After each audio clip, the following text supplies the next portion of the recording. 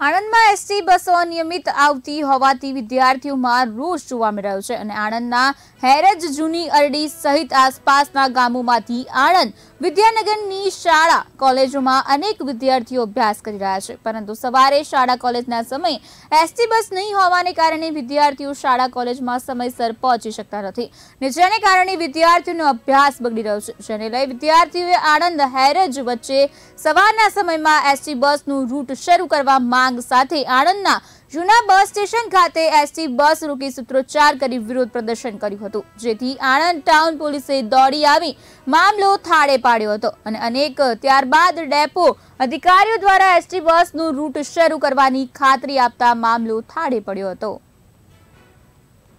Depot મેનેજરને અમે રજૂઆત કરીએ છીએ. ફોન પર કરી પણ સરખો જવાબ આપતા નથી. એ એવું કહે છે કે અમે શટલ મોકલી સાત વાગ્યાનો ટાઈમ છે. આઠ વાગે બસ આવે એનો મતલબ શું? નોકરી કરતા એમને અંદર જવા ના દે, બરોબર? ઓફિસમાં બોલાવે. પછી લેક્ચર છૂટી જાય, એનું શું કરવાનું? આજે એક, બે ત્રણ. આજે મેન પેપર હતો, છૂટી ગયા, શું કરવાનું અમારે? અને બીજો પ્રોબ્લેમ ડેપો મેનેજર એવું કહે છે કે મોટી બસો જતી નથી એરંજવાળા પુલ ઉપર. પુલ ડેમેજ છે. તો અમૂલના આણંદના ચારસો ચારસો લીટરના ટેન્કરો નીકળે છે રાતે. સવારે નીકળે છે.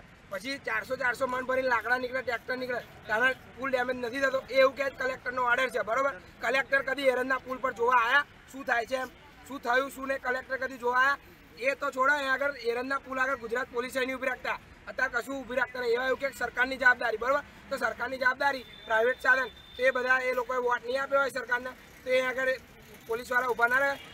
ખાલી એસટી નહીં, બધા પ્રાઇવેટ સાધને ના નીકળવા જોઈએ મોટા. ખાલી બાઇક રિક્ષા અને ગાડી નહીં.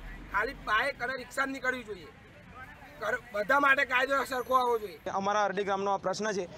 આજે વારંવાર આ લોકોને રજૂઆત કર્યા છતાં પણ આ લોકો મેનેજ ના કરી શકે. એ કારણથી અમારે ત્રણ છોકરાઓના પરીક્ષા, પરીક્ષાનું પેપર હતું, એ છૂટી ગયું છે. તો હવે આની જિમ્મેદારી કોણ લેશે? હા, રજૂઆત તો કરીએ છીએ. ડેપો મેનેજરનો ફોન મારે તો કે હું અમદાવાદ છું. બીજાને ફોન મારે તો બીજી બસ ઇમરજન્સી મોકલી દીધી, પણ પેપર છૂટ્યા પછી શું કરવાનું છે બીજી બસ? ફોર્માલિટી મારે મોકલે અર્થની નહીં ને?